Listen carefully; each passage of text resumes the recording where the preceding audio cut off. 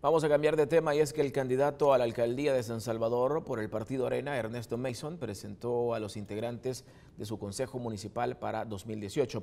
Entre ellos destaca la hermana del expresidente Armando Calderón Sol, Gloria Calderón Sol de Oñate y el bailarín Mauricio Bonilla.